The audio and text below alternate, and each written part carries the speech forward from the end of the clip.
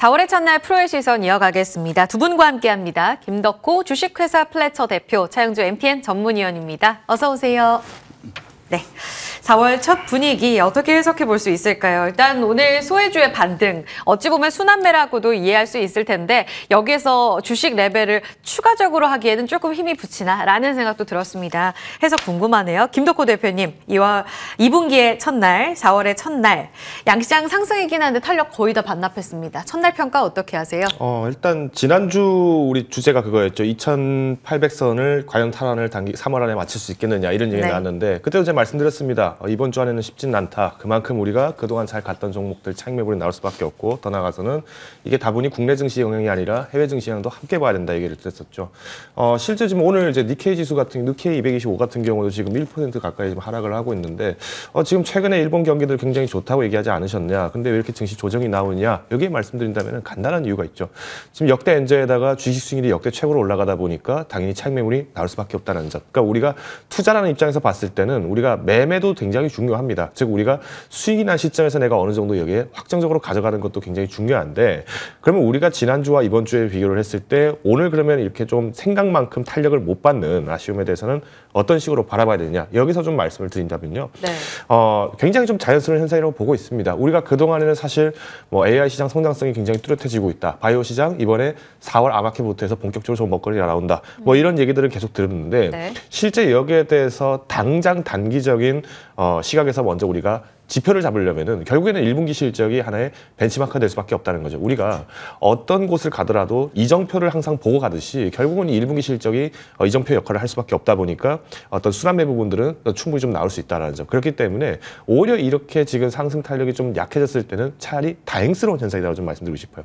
그만큼 지금 우리가 종목 집중에 대한 부담을 좀 많이 완화를 시킬 수 있는 부분이기 때문에 그러면 오히려 이렇게 좀 조정매가 나온다. 그럼 그동안 내가 아 내가 좀 수익이 났던 종목이 좀 비중이 많이 커졌는데 어, 이때 지금 내가 이걸 좀 더 사볼까 이런 조정매가 가능하다는 거죠. 그렇기 때문에 어, 이제 본격적으로 이제 삼성전자나 뭐 LG전자와 같이 이렇게 대형 종목들을 중심으로 해서 실적들이 이제 점점 기대가 되고 있습니다만은 결국 이런 시점에 활용할 수 있는 방법은 value chain을 다시 한번 점검해 보고 여기에 맞춰서 내 포트폴리오를 점검하는 겁니다. 그러면 결국 우리가 가장 조심해야 될 거 earning surprise는 사실 뭐 나오면 너무도 좋겠습니다만은 가장 우려될 게 earning shock죠. 그러니까 어, 예상만큼 실적이 잘 안 나왔을 때에 대한 어, 우려 매물, 그러니까 공포 매물 만 대비하시면 되기 때문에 여기에 대한 일부의 현금성 확보만 필요하지 사실 너무 동의하실 필요는 없다 정도로 네. 말씀드리겠습니다. 좋습니다. 결국은 매크로 민감도에서 4월 이 2분기의 시작은 숫자로 집중되는 시기다라는 이야기인데 증권가에서도 1년 중에 4월이 이익과 주가 간의 이 민감도가 가장 높은 시기다 이렇게 보고 있더라고요. 차영주 위원님 여기에 동의를 하시는지 4월에 이제 추가 레벨업과 여기에서 쉬어가는 움직임 안에서 지수의 가장 중요한 포인트는 뭐라고 보고 계세요? 실적이에요? 어, 일단 뭐 우리가 2023년 주총이 이제 마감이 됐죠. 그래서 네. 일단 하나의 고비가 이제 넘었습니다. 이제 실적을 또 이제 보긴 해야 되겠습니다만 음. 일 1분기 실적이 그렇게 드라마틱하게 나오는 기업들은 그렇게 많지는 않아요. 아. 원래 이제 1분기 같은 경우가 이제 비수익인 경우가 많고 우리가 이제 계획을 세우는 단계이기 때문에 1분기 실적이 어, 주, 장을 새롭게 이끌 만한 모멘텀이 되는 물론 이제 몇몇 기업들은 되긴 하겠습니다만 이게 주도적이다라고 보기는 어렵겠죠. 하지만 1분기 실적을 통해서 이제 2분기 guidance 나오는 것들이 굉장히 좀 중요하지만 아직까지 시간적 여유는 좀 어, 있다라고 봐야 되겠죠. 따라서 투자자분들께서 이번 주 이제 우리가 봐야 될 핵심 포인트를 보게 된다라면 어, 일단 쉬는 듯 쉬지 않고 있는 반도체에 대한 질주 어떻게 될 것인가. 오늘 일단 어, SK하이닉스가 윗꼬리를 달긴 했습니다만 어, 지금 저는 모양이 상당히 안정적이다라고 오히려 말씀드리고 싶어요. 왜냐하면 이렇게 지금 무거운 주식이 20만 닉스를 가는 과정에 있어서 손바뀜이 계속해서 일어나고 있는 거거든요. 어, 특정 거래량이 이제 늘어났다기보다는 손바뀜이 일어나고 있는 상황이고 오히려 리노공업이라든지 우리가 이제 그 한미 반도체 같은 쪽들 이런 쪽들이 변동성이 좀 크긴 합니다만 네. 여전히 돈을 벌고 있는 그런 섹터고 삼성전자도 이제 9만 닉 전자를 위해서 어, 서서히 어, 우리가 한 걸음에 이제 그 점프를 했으면 좋겠습니다만 서서히 이제 기어가듯이라도 걸어가고 있는 거죠. 이제 7만 전자로 떨어질 확률보다는 9만 전자를 향해서 갈 확률이 더 높아졌다라고 보거든요. 그렇기 때문에 일단 사- 그 자- 반도체 독주 4월에 또 이어지느냐 그 힘이 어디 있느냐 거기에는 어 아무래도 이제 뭐 글로벌 자금이라든지 외국인과 기관들의 네. 힘이 되지 않을까 싶습니다. 일단 기관들이 본격적으로 자금 집행을 시작했고요. 지난 주말에 나온 글로벌 도- 자금 동향이 저는 상당히 의미 있다라고 봅니다. 그 동안에 우리가 이제 신흥국과 선진국들을 보게 된다라면 선진국에선 자금이 빠지고 신흥국으로 자금이 들어왔어요.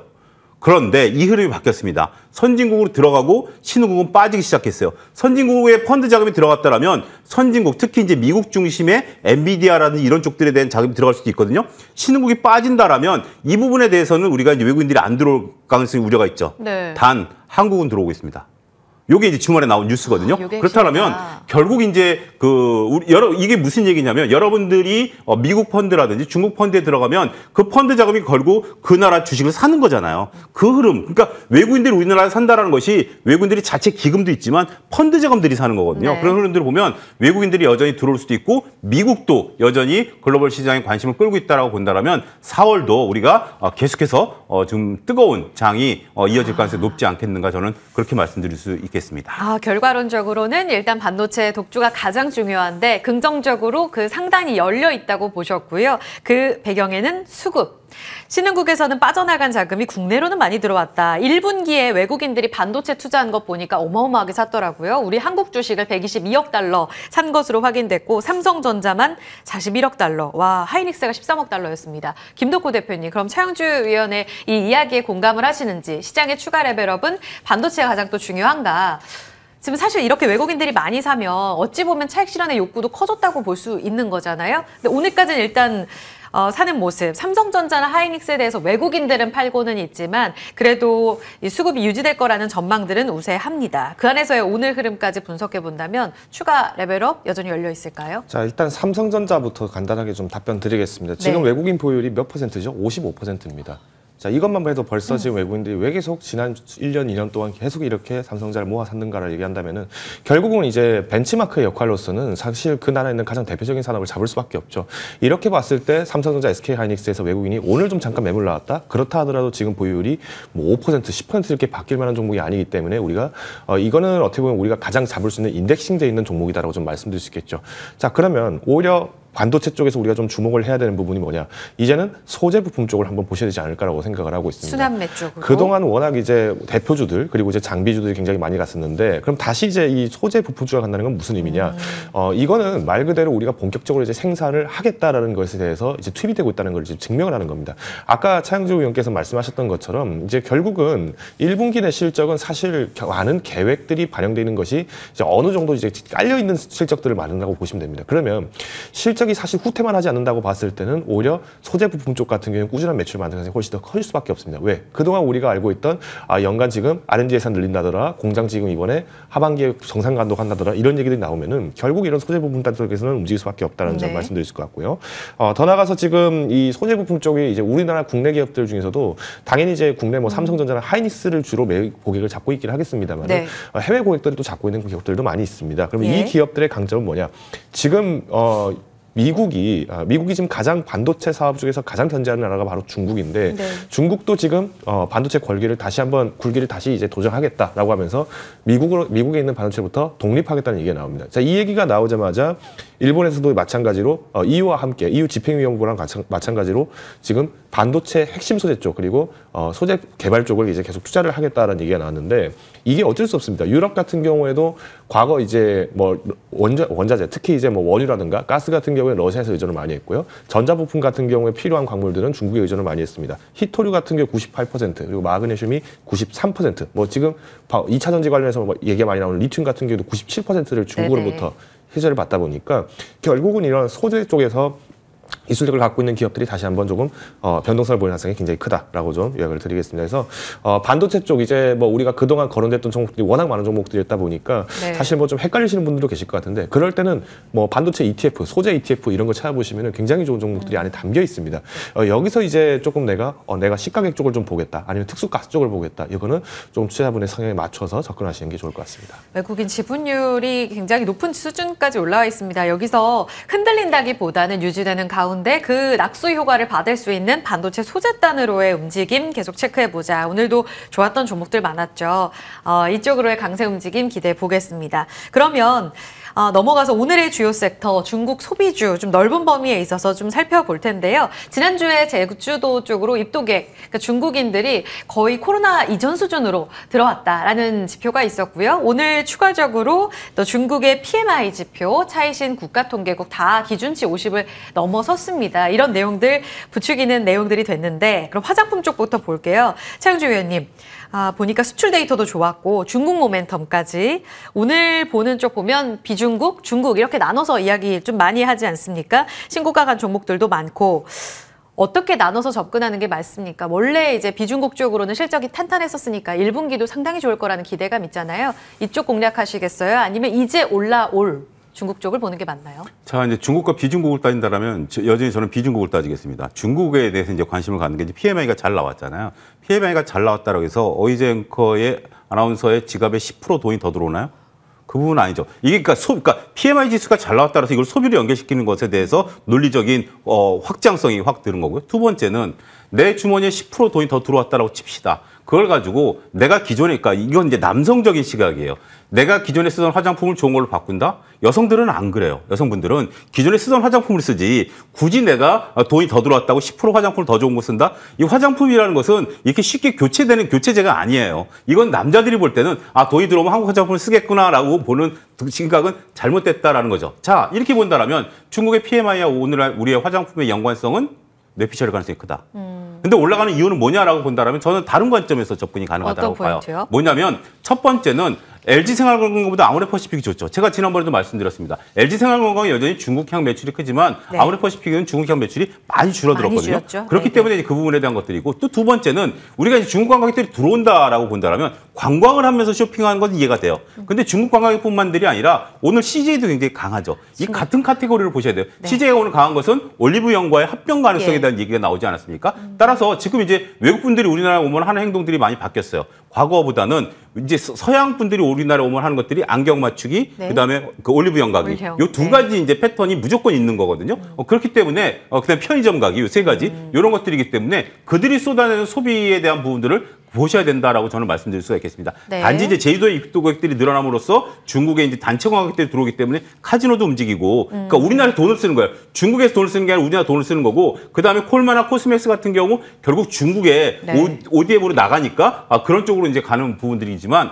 자 종합적으로 보게 된다면 꼭 이게 중국 트리거는 아니겠습니다만 일부 중국 트리거는 있어요. 하지만 그동안 억눌렸었던, 어, 그다음에 하나투어 같은 경우 그동안에 어, 여러 가지 얘기들이 네. 나왔습니다만 결국 이제 어, 조금 좋지 않은 소식이 나오면서 어, 하나투어가 이제 주가가 빠지고 있지 않습니까? 그러다 보니까 밑에서부터 차트들이 대- 대부분 다 완성이 돼 있는 상태예요. 네. 우리가 여러분들 잘 보시면 어, 아모레 퍼시픽 같은 경우는 오늘 전형적인 상승이 나올 자리에 나왔고 그다음에 코스맥스나 콜마 같은 경우도 우상하는 모습들이 나왔기 때문에 예. 이게 바닥에서 하루 들어주는 게 아닙니다. 따라서 저는 이 추세에 당분간은 동참하실 필요가 있지 않을까 말씀드릴 수가 있겠습니다. 그럼 중국 소비주 안에서의 top pick은 화장품인 거예요? 어, 일단 지금 나서는 건 두 가지 중인데 음. 카지노는 조금 실적이 나올 게 좀 시간이 좀 걸릴 수 있어요. 네. 어, 그, 렇지만 지금 나올 수 있는 건 화장품을 본다라면? 제가 오전 개장 네. 방송할 때 화장품으로서는 아모레퍼시픽이나 한국콜마, 아. 코스맥스 이렇게 세 가지를 예. 말씀드렸는데 아모레퍼시픽은 지금 이제 주가가 어느 정도 오른 상태라면 네. 오히려 오늘 이제 한국콜마 같은 경우 콜마 홀딩스로 이제 개명에 대한 얘기 나오잖아요. 미국에 대한 trigger들도 있다라고 보면 네. 이런 쪽으로 노리는 것도 좋지 않을까 싶습니다. 네, 좋습니다. 다음은 이 면세 쪽인데 백화점 면세 다 좋았고요. 특히 글로벌 텍스프리가 어, 모처럼 만에 6천 원 선을 강하게 회복하는 모습을 보여줬습니다. 다른 중국 소비주보다도 더 바닥권에 있어서 매력적이라고 보는 시각도 있습니다. 김 대표님 짧게 보신다면요. 어, 일단 뭐 명절 때 뉴커들의 방안이 좀 상대적으로 많이 늘긴 많이 늘었습니다. 그러니까 전년 대비했을 때는 640% 이제 증가를 한 34만 명이 어, 2월에 이제 중국을 아, 2월에 한국을 방한을 했고요. 어, 그러다 보니까 사실 이제 면세주가 뛰는 경우는 거의 대부분 유커의 방 아, 유커의 방안이 돌아왔다는 자체가 좀 긍정적이라고 본다는 것 같습니다. 네. 근데 이제 문제는 이게 이제 단기적 소재로 봤을 때는 조금 우려가 될 수 있는 것. 단기적 소재에서는 호재가 될 수 있지만은 지금 뭐 미국 에서 대선 위협이 이게 나오고요. 그리고 지금 탈중국화. 아까도 말씀드린 것처럼 일본이나 유럽이 지금 어, 중국의 패권주의를 지금 이탈하기 위해서 지금 빠져나온다. 이런 양들이 나온다는 것은 결국 뭐 경제 그리고 안보 문제가 이제 밀접하게 갈 수밖에 없- 없는 한국 입장에서는 어, 이것이 이제 이 기업들이 또 다시 한번 어, 과거 사드 논란 때와 마찬가지로 유커들이 또 빠져나갈 수 있다는 거죠. 다만 어, 우리가 이 1분기 내 실적을 봤을 때 전년 대비해서 평가가 어, 상당히 긍정적으로 나왔기 때문에 이 부분들은 우리가 반드시 어, 반석을 삼고 가야 됩니다. 자, 그러면 작년도에 우리 뭐 예를 들어서 호텔 신라라든가 아니면 신세계 인터 그리고 뭐 이런 관련돼 있는 면세점주 관련 종목들 한번 보시면은 주가가 사실상 어, 이미 20% 30% 이상씩 다 조정을 받았습니다. 네. 자, 그러다 보니까 단기적인 매매에서는 충분하게 의- 어, 매력적일 수 있다. 더군다나 지금 이제 현 정부에서도 지금 칭다오랑 그리고 이제 광저우에서 지금 K 관광 로드쇼를 지금 하면서 성공적으로 좀 마쳤죠. 그만큼 어, 우리가 이제 다시 과거 마스크를 쓰지 않고도 자유롭게 다닐 수 있는 어, 우리가 흔히 말하는 질병 청정의 상태에서 지금 관광이 들어왔기 때문에 어느 정도 수혜는 있다. 다만 어, 앞서 말씀드린 것처럼 결국 장기적으로 갔을 때는 우리가 경제 안보적 측면에서는 리스크가 있고요. 그다음 두 번째로 지금 일본에 여전히 지금 30%짜리 치사율을 갖고 있는 전염병이 지금 돌고 있다고 얘기가 나오고 있는데 이게 우리나라에도 분명 병이 들어왔을 가능성은 어느 정도 있다라고 봅니다. 그런 면에서 봤을 때는 어, 우리가 조금 너무 헤비하게 가져가기보다는 단기적인 매매에서는 조금 이런 이슈들을 활용하면서 4월 내 매매 정도가 가장 유용하지 않을까라고 보고 있습니다. 알겠습니다. 어, 앞서서 그 차영주 의원께서는 지금 화장품 쪽으로 중국 소비주 안에서는 원픽은 일단 숫자가 찍히는 쪽 화장품을 이야기해 주셨단 말이죠. 김 대표님은 같은 관점에서 봤을 때 가장 매력적인 쪽 지금 접근하기에 어느 쪽 포인트로 잡으시는지 들을 수 있을까요? 어, 일단 화장품도 굉장히 좋죠. 근데 어, 제가 우선순위를 좀 주시면. 그렇죠. 앞서서 말씀드린 것처럼 화장품도 굉장히 좋습니다만 일단 첫 번째는 여행이라고 저는 보고요. 그러니까 여행이요? 여행사 그리고 두 아. 번째가 호텔 그리고 세 번째 카지노 다시 보고 있습니다.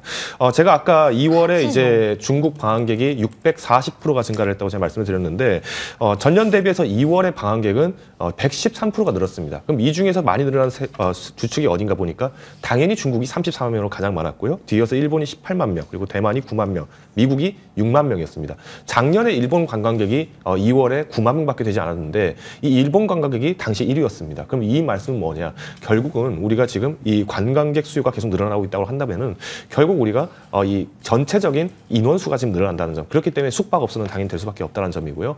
어, 팬데믹 선언 직전에 아, 팬데믹 선언 직전과 직후 당시에 1인당 관광객의 어, 소비 어, 소비 금액을 이제 보신 분들은 아시겠습니다만은 어, 이, 제가 기억하기로 2020년 3월 관광객들의 1인당 소비 금액의 비율이 전년 대비했을 때 1000%가 늘었다고 되어 있습니다. 자, 이게 무슨 말일까요? 일반적으로 우리가 여행을 다니던 그러니까 좀 소규모의 소액 규모의 저 여행을 다니던 사람들은 많이 적었고 오히려 고액으로 고액 관광객들 우리가 흔히 말하는 뭐 카지노라든가 뭐 골프를 좋아한다거나 아니면은 뭐 비즈니스석을 이용하는 이런 분들이 많이 이제 다녔다는 건데 네. 그럼 이거를 이제 뒤집어서 얘기해 보겠습니다. 1인당 이제 실제 소비하는 양은 소비하는 금액의 규모는 상대적으로 전년 대비해서 줄어들겠죠. 근데 이거는 그만큼 관광객 수가 늘어났기 나오는 늘어났기 때문에 나오는 통계적인 해석이 차이입니다. 그러면 이 수치적 차이를 봤을 때 우리가 적용할 수 있는 뭐다? 이제 관광 시장 자체가 다시 부활한다. 그래서 뭐 숙박 그리고 뭐 식료품적 이쪽을 다시 한번 봐야 되지 않을까라고 판단하고 있습니다. 숙박, 식료품, 또 카지노도 키워드를 말씀하셨고 inbound의 의미 있는 숫자가 확인이 되면서 이 부분이 관광시장 확대로 이어진다는 키워드 기억하시면 되겠고요. 동시에 숫자 1분기에도 하단을 탄탄하게 뒷받침할 그리고 플러스 알파로 하반기에 숫자가 더 나올 쪽 이렇게 공략하시면 되겠습니다. 중국 소비주 쪽까지 점검해봤습니다. 두 프로 보내드릴게요. 차영주 전문위원 김덕호 대표였습니다. 고맙습니다.